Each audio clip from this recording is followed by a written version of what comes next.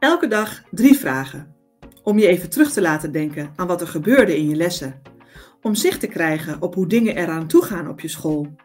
Elke dag drie resultaten. Om te zien of en hoe jij verschilt van je collega's. Om te zien of jouw school een uitzondering is of juist niet. En elke dag een tip. Om direct toe te kunnen passen in je praktijk of om je aan het denken te zetten. Dat is TeacherTap. Het grootste dagelijkse onderwijsonderzoek in Nederland.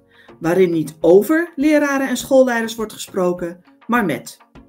De honderden leraren en schoolleiders die elke dag antwoord geven op de vragen, onthullen een beeld van wat er echt aan de hand is op scholen.